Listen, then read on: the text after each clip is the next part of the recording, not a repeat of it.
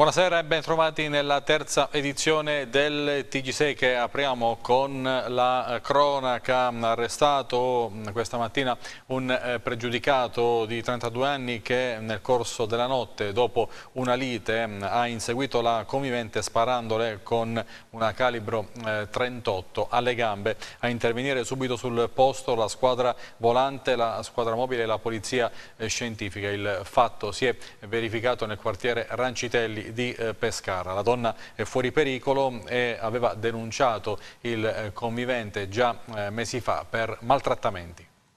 Una lite in famiglia sfociata in un'aggressione con tanto di esplosioni e di colpi di arma da fuoco calibro 38, che ha portato all'arresto di un pregiudicato di 32 anni, Moreno Sagazio, a restare ferita la sua convivente, madre dei suoi sei figli. I fatti si sono svolti nella notte di domenica a Pescara, in via Lago di Capestrano. E subito, grazie anche alla collaborazione dei residenti, questo va detto, si è capita la dinamica dei fatti, pur non essendo presente la persona offesa, che è una donna di 26 anni, eh, da noi conosciuta sul posto, che era stata attinta da un colpo d'arma da fuoco, sparatole dal, dal, convivente, a seguito di una lite che l'aveva visti eh, dapprima mh, in casa per poi eh, lei fuggire fuori dall'abitazione dove appunto era stata raggiunta dal, dal compagno che armato di un revolver ha fatto fuoco colpendola ad una gamba.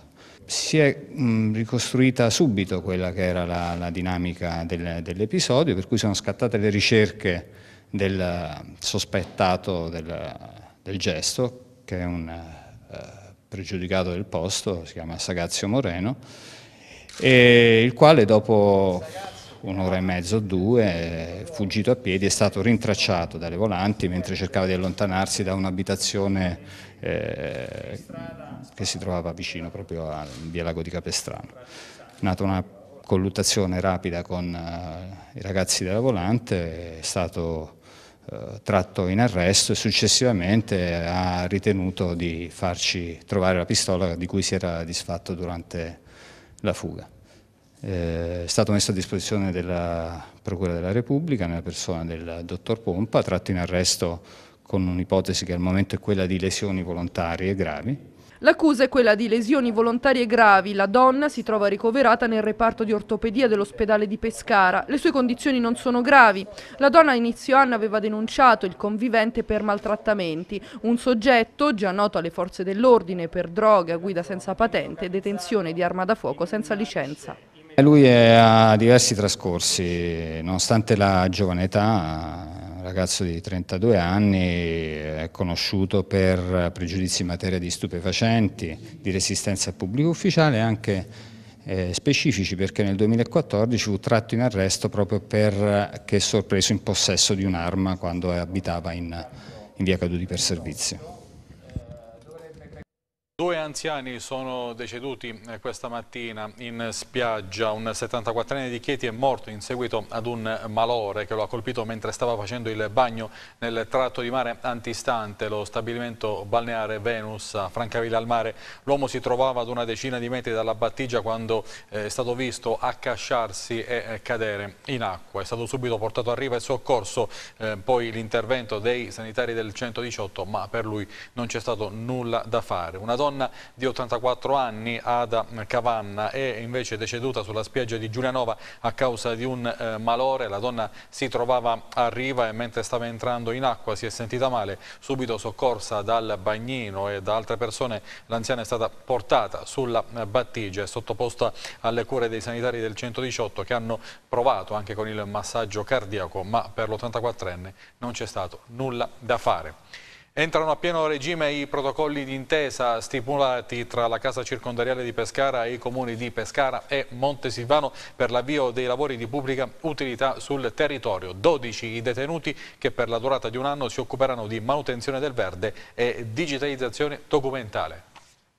È stata definita giustizia riparativa, in questo caso si parla ancora di integrazione di detenuti all'interno di utilità sociale. Questo patto cosa prevede? Ma oggi abbiamo siglato un protocollo d'intesa importante col Museo delle Genti d'Abruzzo che ha eh, accolto un detenuto in articolo 21 che si occuperà delle manutenzioni all'interno del museo. Si tratta, come ha detto lei, di un atto di giustizia riparativa e cioè di ehm, un lavoro che il detenuto fa per contribuire a ricucire in parte la ferita che ha causato alla società quando ha commesso un reato. È quindi molto importante per il percorso personale del detenuto, ma è anche molto importante perché in questo caso il detenuto ha avuto un'attività di formazione che riguarda la sicurezza sui luoghi di lavoro, si reinserisce in un contesto esterno, inizia a vivere le regole dell'attività lavorativa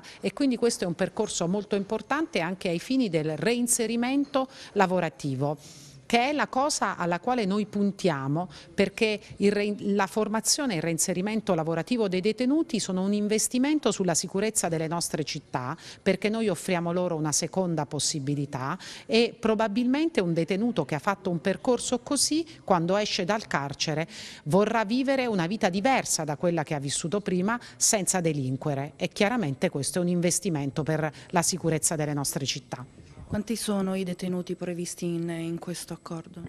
Ma ci sono dieci detenuti che lavorano già con il comune di Pescara, uno che lavora col comune di Montesilvano e adesso uno che lavora con il Museo delle Genti d'Abruzzo.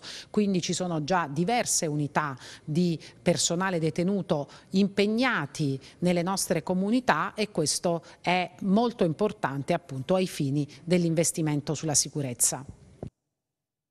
Utilizzando della lacca per capelli come spray urticante a bordo di un autobus della linea 38 nella zona di Via Nazionale Atletica Nord a Pescara hanno rapinato uno studente senegalese di 22 anni e quando il giovane ha provato a reagire lo hanno eh, insultato di morte e eh, minacciato per il colore della eh, pelle. Protagonisti dell'episodio avvenuto ieri a Pescara sono un 26enne residente a Cappelle sul Tavo ed una 36enne di origini uruguayane entrambi arrestati dalla polizia con l'accusa di rapina in concorso. Quando si è verificata la colluttazione l'autobus si è fermato e i due sono fuggiti a piedi. Sul posto sono arrivati la polizia ed una eh, pattuglia della polizia municipale. Gli agenti della squadra volante sono riusciti a rintracciare e a bloccare la coppia non distante e a eh, recuperare la refurtiva. A Teramo i segretari provinciali di CGL, CISL e WIL tornano a parlare di sanità per dire basta alla eh, irragionevole eh, politica dei tagli, questa volta con un sit-in di protesta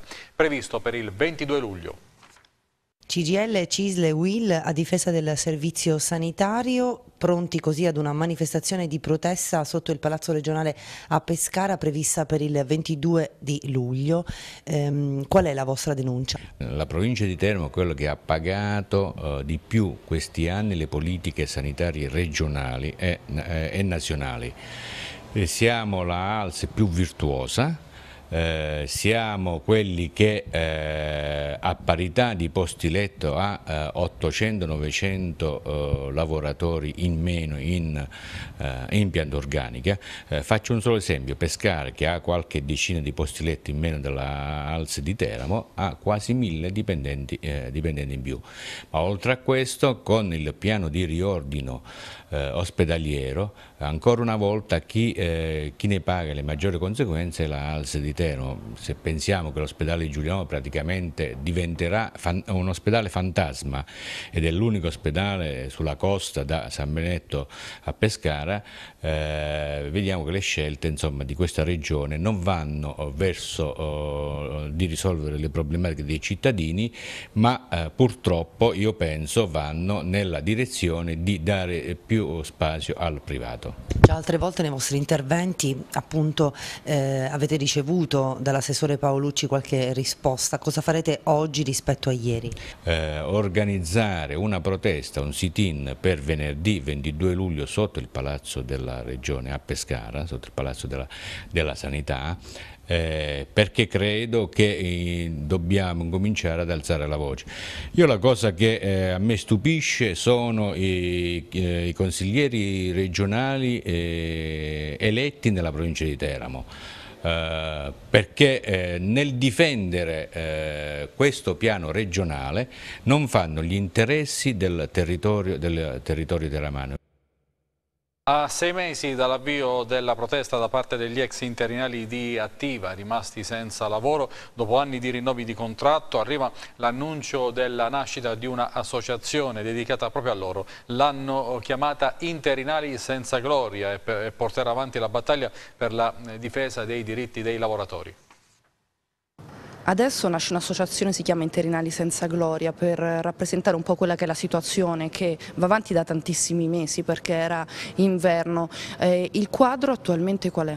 Mm, il quadro è un quadro di stallo, così come da sette mesi a questa parte, perché ricordiamolo, noi siamo in protesta, eh, c'è il presidio di fronte al Comune dal 9 di gennaio e tuttora viene portato avanti dai nostri colleghi.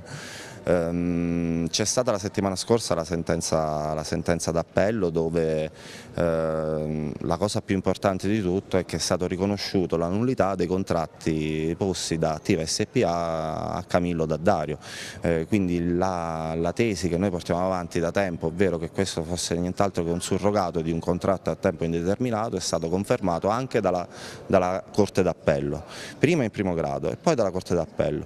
Davanti a questo contrasto eh, giurisprudenziale eh, noi riteniamo eh, che è ehm, necessario promuovere un ulteriore grado di giudizio davanti alla Corte di Cassazione, la quale già nel 2013 ha avuto modo di affermare che eh, alle società in house per l'appunto eh, si applica la sanzione quando viene accertata l'unità del termine della conversione.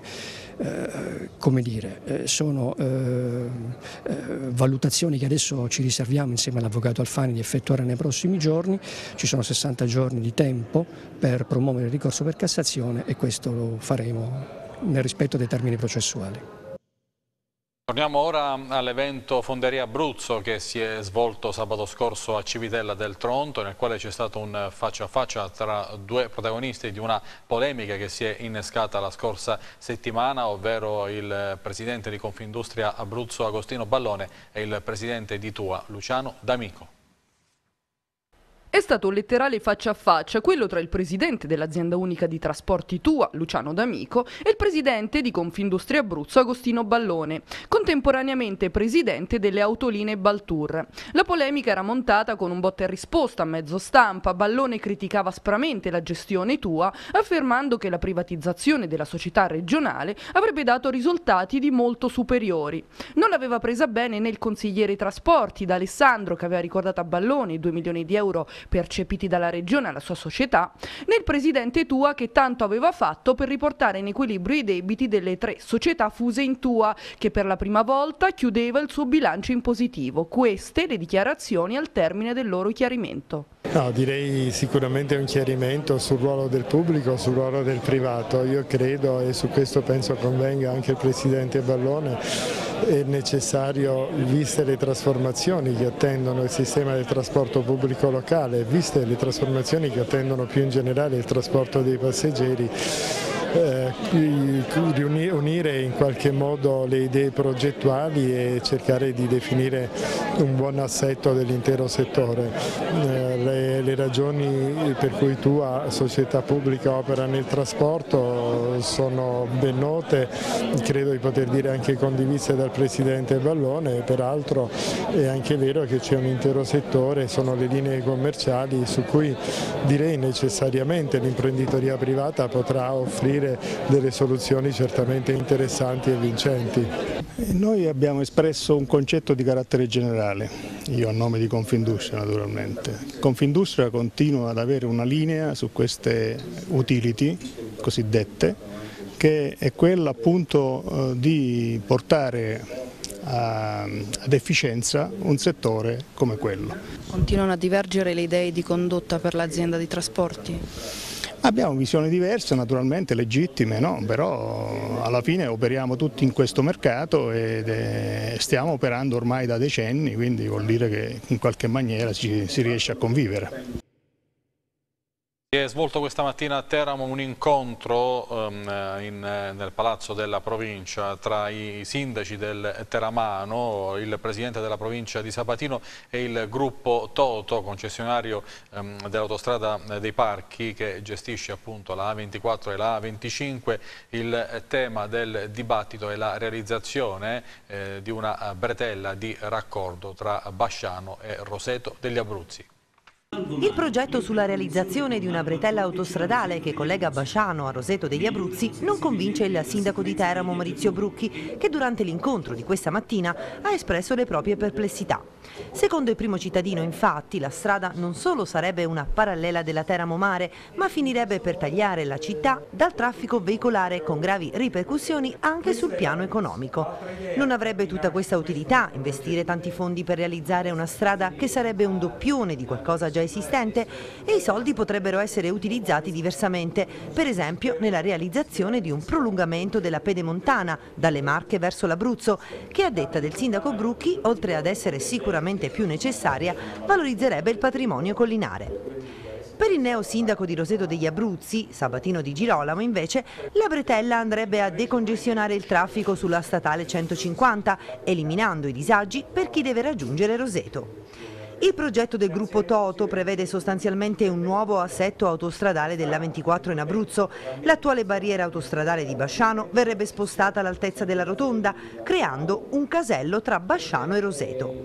La nuova bretella, da 24 km, sarà realizzata con soldi privati di Toto SPA, un progetto di oltre 6 miliardi di euro che Strada dei Parchi conta di recuperare con un aumento del pedaggio fino al 2%. Nell'incontro, voluto dal presidente della provincia Renzo Di Sabatino, tra i presenti, oltre alla sindaco di Teramo e Roseto degli Abruzzi, i sindaci di Basciano, Cellino Atanasio, Cermignano, Morrodoro e Canzano. Entro fine anno, Strada dei Parchi conta di poter avere l'ok dal Ministero per realizzare il progetto. Cambiamo argomento, sabato prossimo 16 luglio si svolgerà a Pescara la Notte Bianca dell'Adriatico eh, con artisti importanti del calibro di Michele Placido, Fiorella Mannoia e eh, Tonino Carotone. Oltre 100 gli spettacoli in programma per eh, un evento che lo scorso anno ha ospitato circa 200.000 persone, servizio.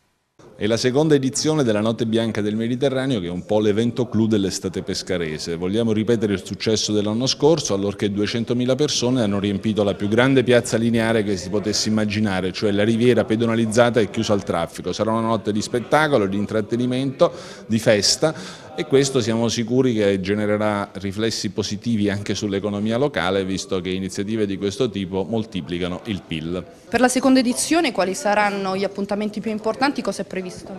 Ma tante iniziative a partire dal Adriatic Plus Coast Day il 16, ci sarà il concerto di Fiorella Mannoia qui all'Arena del Mare della spiaggia della Madonnina, poi Tonino Carotone eh, allo Stadio del Mare, Paola Turci sulla Riviera Sud a Piazza Le Laudi, Alex Neri dei Planet Funk all'ex Cofa per l'area della musica elettronica, chiuderemo con Michele Placido su Piazza Salotto, Piazza della Rinascita e poi ci saranno oltre 30 gruppi a terra che animeranno tutta la serata, questa volta davvero dal tramonto all'alba. Sono più di 150 artisti coinvolti, oltre 70 iniziative, quindi ce ne sarà per tutti i gusti, ma sicuramente ci sarà eh, da divertirsi in questa notte che si pone l'obiettivo di diventare già da quest'anno uno degli appuntamenti principali dell'Adriatico e nel panorama nazionale. Invece a Teramo, dopo due anni di stop, torna la mm, manifestazione eh, Giochi senza frontiere. Divertimento e socializzazione. È questo l'obiettivo di Giochi senza frontiere che dopo due anni di stop torna in scena a Piazza Martiri della Libertà. Giunto alla decima edizione, la manifestazione torna grazie al contributo di Fondazione Tercas, il CSI e il Club Interamnia.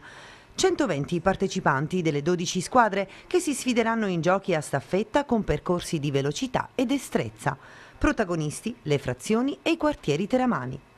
L'assessorato allo sport insieme all'assessorato alla cultura ha fatto quello che ha sempre fatto il Comune, cioè ha spinto affinché il Comune eh, desse una, diciamo, un appoggio economico a questa manifestazione, quindi abbiamo dato il patrocinio attraverso la Fondazione Tercas eh, quello che dico sempre, noi possiamo stare vicino, ma poi le organizzazioni di certi eventi vanno lasciate a chi le organizza che le sa fare benissimo. Giochi senza frontiere vedrà sfidarsi 12 frazioni. Quest'anno come partecipanti abbiamo Castagneto con l'atterrato alto, con Le Parco, Frondarola, Nepezzano, Piano Daccio, Piano della Lenta, Scapriano, Spiano, Unité, Villa Momano che si è fusa con Sardinara. Giochi senza frontiere è una manifestazione per tutti dove i principali artefici non sono né attori né gente di cultura eh, ma è gente normale come noi che abita i quartieri e le frazioni. Ci saranno in piazza tre giochi come sapete serviranno per il gioco finale che sarà sorpresa, mi raccomando partecipate in molti in piazza, vi aspettiamo il 14 di luglio alle ore 21 a Piazza Martiri della Libertà.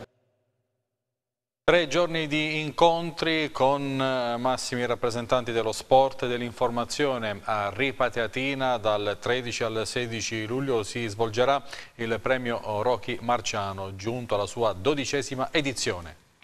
La dodicesima edizione significa che questo premio ha una valenza che viene portata avanti nel, nel tempo. Vengono insigniti di questo premio i rappresentanti di diverse categorie. Quest'anno ci sarà ovviamente una menzione speciale anche per lo sport, per il Pescara. Qual è il significato di un'immagine, di una figura come quella di Rocchi Marciano? Beh, intanto è un grande evento, un grande festival che trae spunto dalla figura di Rocchi Marciano, dal mondo dello sport, da quello che come persona ha significato nello sport e anche nella nostra comunità regionale. Ma in realtà si tratta di promuovere un intero territorio. Da anni l'amministrazione comunale eh, si impegna per queste finalità e diciamo, finalmente la Regione comincia a compiere qualche passo in avanti sullo sport perché si sono liberate giustamente delle risorse anche per questi obiettivi.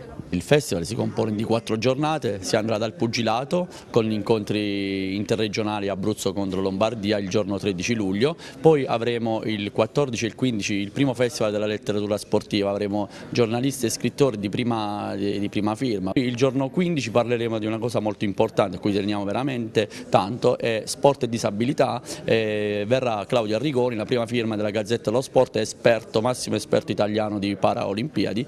Poi il giorno 16 avremo la consegna dei premi eh, molto importanti, avremo personaggi di primo livello come Gianni Rivera, eh, Massimo Otto, Leonardo Bundu, Giulio Ciccone e poi le squadre abruzzesi che si sono distinte durante l'anno.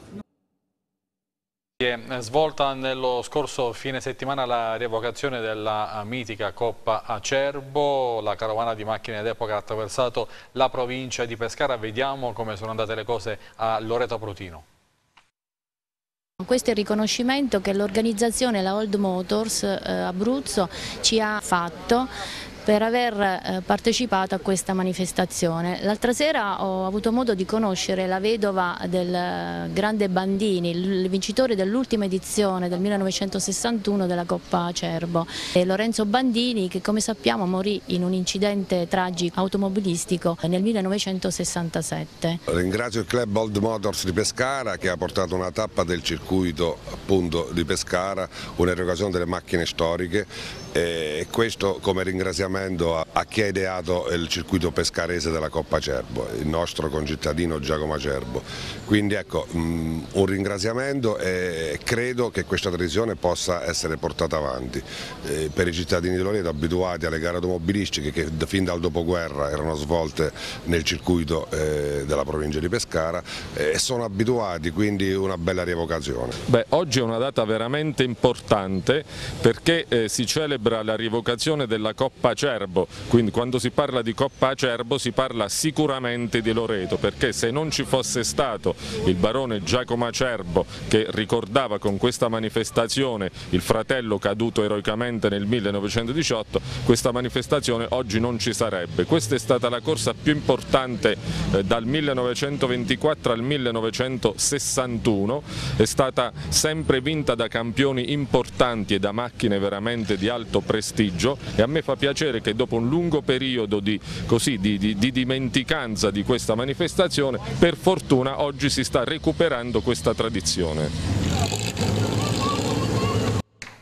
Il eh, servizio ci introduce alla pagina sportiva, ora è ufficiale Luca Leone è il nuovo direttore sportivo del Pescara, il 46enne ex giocatore e dirigente della Virtus Lanciano ha firmato un contratto di tre anni. Questo pomeriggio ha, ha parlato in conferenza stampa Luca Leone, era la conferenza stampa di eh, presentazione tra gli altri dei eh, nuovi Rei Manai e Cristiano Biraghi. Ascoltiamo le parole del neo DS Biancazzurro. Sono, sono, molto contento, la verità, e anche emozionato. E, infatti non vedo l'ora di cominciare, mi sembra di essere il primo giorno di scuola, no? e, però è, una grande opportunità, ringrazio il Presidente per, per la sua fiducia nei miei confronti e farò di tutto per cercare di, di, di ripagarlo di questa fiducia che è molto importante responsabilità che, che sento ma che mi affascina e, e non vedo l'ora di cominciare. Dicevi prima in conferenza stampa ho firmato il contratto senza neanche vedere le cifre e la durata. Sì, perché quando, quando, scegli non è importante il discorso economico, ho scelto le persone, ho scelto la società, ho scelto la mia città e so che devo dimostrare tanto per meritarmi questa fiducia. In questo momento per Luca Leone quali sono le priorità? La vera grande priorità è stata cercare di mantenere l'ossatura dell'anno scorso, secondo me quello è stato il primo grande acquisto insieme alla conferma dell'allenatore, perché chi ha, chi ha portato, meritato e combattuto e conquistato la Serie A era giusto che si giocasse la possibilità di, di, di, di, restare a Pescara, di fare la Serie A. E secondo me il vero grande colpo sono loro, quindi è da loro che bisogna ripartire e poi dobbiamo cercare di, andare a colmare quelle che possono essere delle mancanze in questo momento per migliorare questa squadra che ha già un'ossatura abbastanza forte secondo Possiamo me. dire che un attaccante e un difensore sono gli obiettivi prossimi del Pescara? Sì, sicuramente il reparto dell'attacco va, va, va, va, completato e, e in difesa forse un tassello importante ci serve. C'è questo problema del deferimento, Luca, se così lo vogliamo um, eh, definire, ci potrebbe essere il rischio di una uh, mini um, squalifica. Giuro che non ho ammazzato nessuno. No, ecco, eh, adesso vedremo cosa succederà, sinceramente dico la verità non mi sono nemmeno preoccupato perché eh, sentirò l'avvocato e vedremo, e vedremo cosa succederà. Ecco. Lega Pro sta diventando una sorta di eh, telenovela la, la, trattativa tra la Teramo Calcio e l'attaccante Marco Sansovini. Nel pomeriggio si aspettava una risposta ma è arrivata l'ennesima fumata grigia. Altra fumata grigia tra Teramo e Marco Sansovini. Sarà una lunga cavalcata tra telefonate, incontri per limare la distanza che ancora rimane, anche se è difficile stabilire di quale entità sia. Il giocatore ha dato però massima disponibilità al trasferimento e da valutare ci sono ancora degli aspetti legati al suo futuro a Pescara e nel Pescara. Risolti quelli ci sarà anche il via libera all'operazione. Ma il Teramo non vorrebbe nemmeno aspettare all'infinito perché c'è un ritiro che inizia mercoledì e una rosa ancora da completare con gli ultimi tasselli. Sarà dunque una lunga maratona che potrebbe sbloccarsi da un momento all'altro. Previsti altri contatti nella serata di oggi e nelle prime ore di domani per approfondire quanto ancora ci sia da limare. Sansovini però si è detto pronto a sposare il progetto biancorosso e a farlo già da subito e questo pone la società biancorossa in una posizione di sola attesa.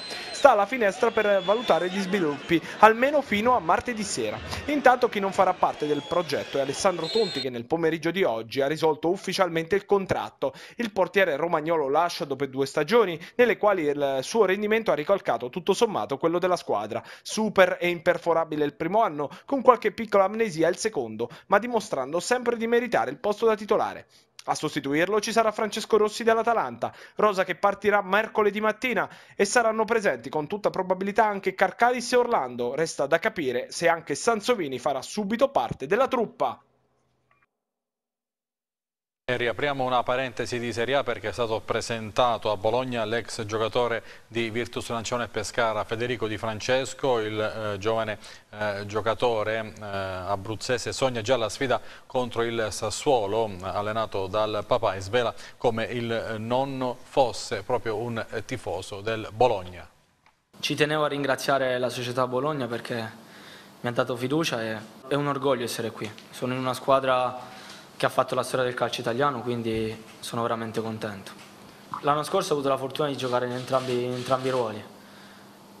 Mi sono piaciuti tutti e due, io penso che sia un bene poter fare tutte e due le cose, non mi piace dire, mi piace fare più questo. Per me mio padre è sempre stato un punto di riferimento, da, sia da quando sono piccolo l'ho, sempre visto giocare, l'ho sempre visto allenare e l'ho visto sempre come, come un esempio da seguire e per me il mio sogno sarebbe quello di superarlo. Normale, sono sempre è normale che un figlio d'arte, come si dice, è sempre paragonato al padre, però per me è un grande orgoglio. Sarà sicuramente un'emozione un grandissima. Non ho avuto mai modo di incontrarlo, quindi sarà la prima volta, anche per la mia famiglia penso sia, sia un'emozione grande. Poi sicuramente un tifoso in più perché mio nonno è, è tifoso del Bologna da, da, anni, quindi dai tempi del, dello scudetto del 63-64, quindi in lui trovo un tifoso, poi comunque sarà una grande emozione, non vedo l'ora di giocare a quella partita. Mi affaccio una nuova realtà, quella della Serie A, eh, ce la metterò tutta per, per mettermi a disposizione, per migliorare allenamento per allenamento e so che poi di conseguenza i risultati arriveranno, arriveranno i gol, le, le presenze e tutto. Finisce qui la terza edizione del TG6 che vi dà appuntamento a domani per la prima edizione delle ore 14. Grazie per l'attenzione e buonanotte. Thank you.